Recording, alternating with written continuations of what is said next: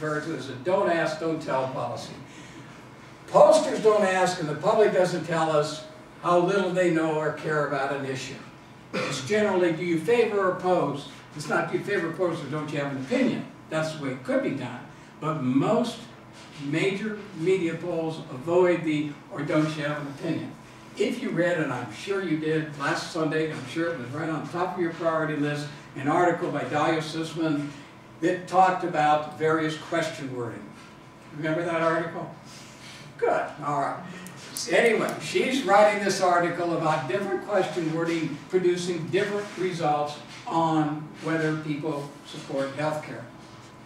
And one of the little comments that she made in there is, some pollsters will say that you should include, or don't you have an opinion?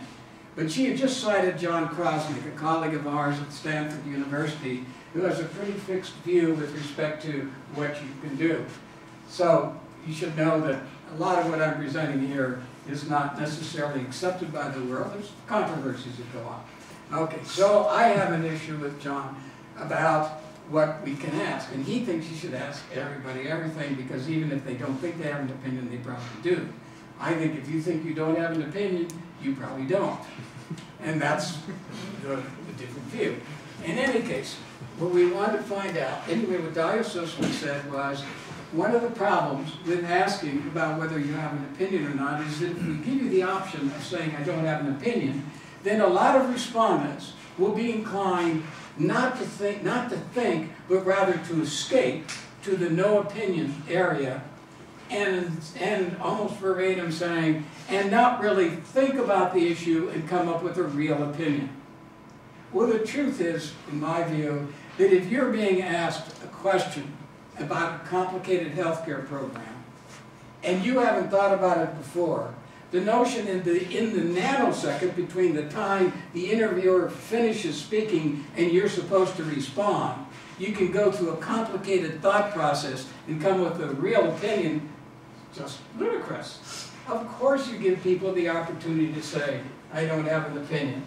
You don't have to browbeat them. You don't have to say, or, you know, are you, uh, by asking them a question which forces them to say, I don't have an opinion, just say, or don't you have one?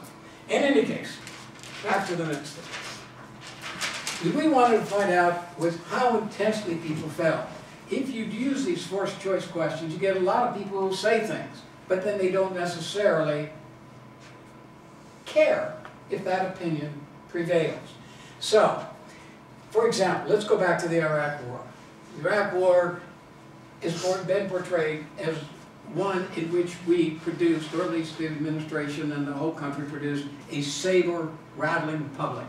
The public was in favor of the war. In fact, I read commentary since then that said, you can't blame just the Bush administration. You have to blame the American public because they are clamoring for war. All right. So, if you take a look at the polls that were taken about a week before the invasion began, you'd have to say, hmm, looks like we did have a saber-rattling public. Almost all those polls indicated better than two to one support for going to the war. And the typical question is, do you favor or oppose the United States sending troops to the Persian Gulf region in order to remove Saddam Hussein from power? There are a lot of reasons why that's a biased question, but it's a fairly objective question, but it's still, in order to remove Saddam Hussein from power, of course, implies that once he's removed from power, we're finished, which, as we know, was not the case. It was a war in which we were going to in nation building, which was never asked. Okay, so what we decided to do, a colleague of mine at Gallup, is use a follow-up question which is designed to measure how seriously people treat their own opinion. The follow so the standard question, let's go back. Standard question is what I just said there. And this is what we got in this particular poll. In this particular poll, 59 to 38, that was taken February 17th to 19th, 2003. And of course, we went to the war in March. So we're talking about, you know, only a couple of weeks before we actually went to war. Then we followed up with this question. If the government, for people who said that they supported or favored going to war, suppose the government does not send troops to Iraq, would you be very somewhat not too or not at all upset? And suppose you said, I oppose the war, suppose the government does send troops to Iraq, would you be upset? And here's the reason we did that.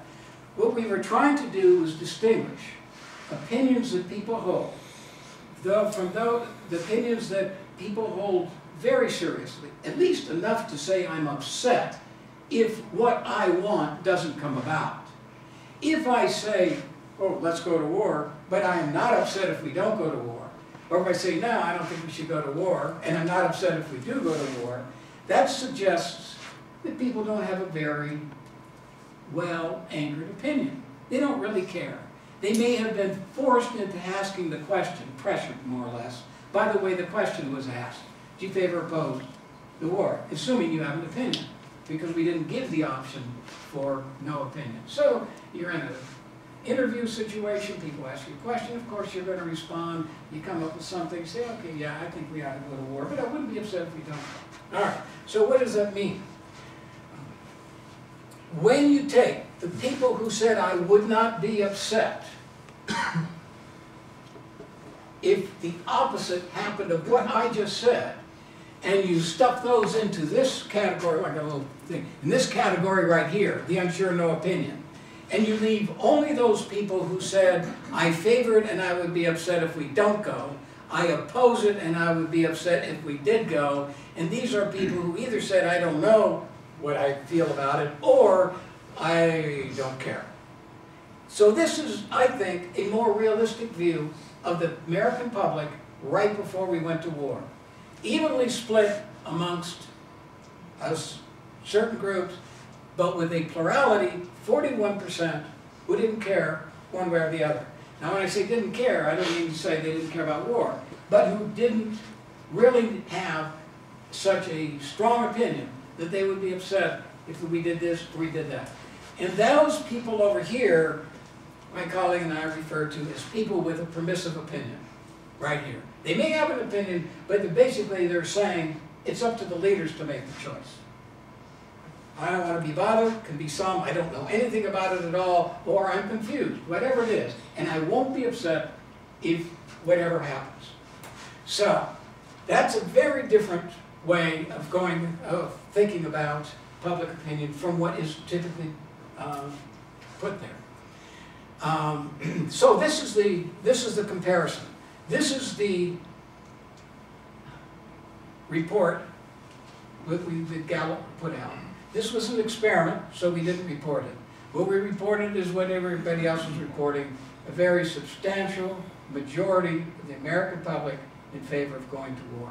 When I think the truth, by the way, realize the truth is kind of fuzzy here, it's a matter of interpretation. But a realistic assessment of the public was the public was mostly, was evenly divided with respect to going and not going, and a plurality was really essentially unsure as to what should happen. Now the reason that's important is that the justification, a part of the justification, post hoc justification for going to war is that the public supported it, and the whole interpretation of what was going on at that time suggested that the American public was forcing people to go. I'm not saying the polls didn't encourage politicians because they saw polls that suggested, oh, you know, two to one support. But what I am saying that if we had a realistic opinion of the public, a realistic assessment of public opinion, we would have had a lot different picture. Okay. Um, just to give you another quick example of something that doesn't matter as much as the war did, but it was another experiment that we ran. Do you favor opposing re-establishing diplomatic relations with Cuba? What do you think most people would say? Yes or no? How many people think most people would say yes? Most people would say no. Interesting. I, I wouldn't necessarily know offhand, but um, this is what we found. Why not? Why not reestablish relations with Cuba? You know, I mean, at, at this time, it was, it was asked in 2004. That's a standard question. Okay, then we followed up. For those people who said that they favored it, we said, would you be upset if we didn't do it? And for those people who said they opposed it, would you be upset if we did? So, that's what the question is. By the way, what we did is we combined the people who said very upset and somewhat upset as upset. and people who said not too or not at all.